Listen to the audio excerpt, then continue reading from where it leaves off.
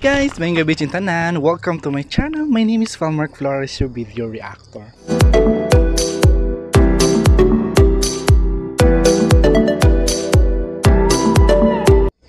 For today's videos guys we will be having again a reaction video. This video that we're going to watch today is no other than your face sounds familiar. Yes guys bumalik na talaga yung your face sounds familiar ngayong April 17 at talagang inaabangan ko talaga guys kasi ilang week din yun guys di ba na replay yung nangyayari. Tapos di ba nakaka-boring sa bahay.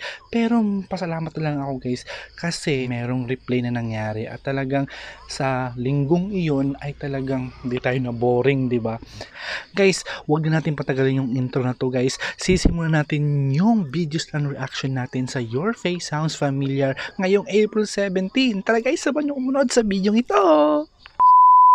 So our next contender guys no other than Lee Posta. Na-miss ko to si Bibi Lee. Na-miss ko talaga to.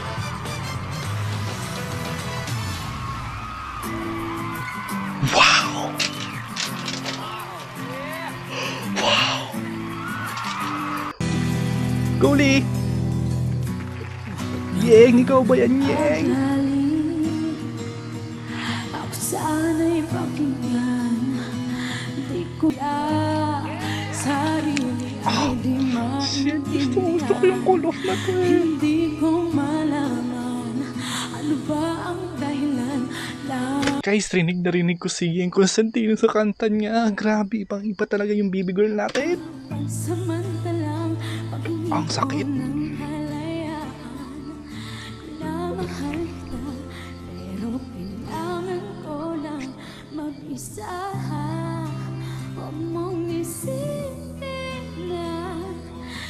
Guys, ang ganda ng boses niya. Di, Parang naiiyak ako sa boses niya. Ang ganda kasi ng ano guys, i-areglo ng kanta. ka na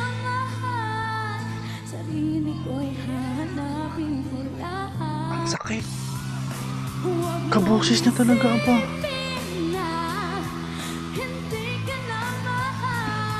Guys, hindi ko expect na talagang kakayahan niya si Yeng Constantino. Kasi ba kasi ang boss ni Yeng Constantino sobrang taas.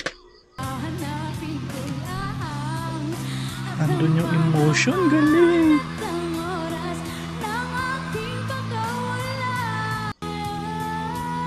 Galing!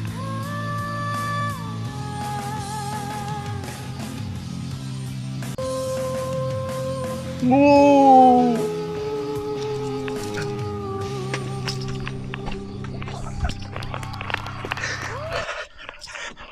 Ang kaling ng baby girl natin, guys. Nakakatuwa, ano, na bumalik na ulit yung Your Face Sounds Familiar.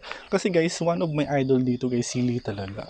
Yes, yung baby girl natin dito. Kasi sobrang galing naman talaga, guys.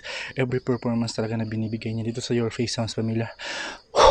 Bigay na bigay. Excited talaga ako sa kanya pag siya na yung nagpe-perform, guys. Eh, ang galing! Nakakakilig, guys. Parang, ano, may jowa na ba si Lee? Di ba?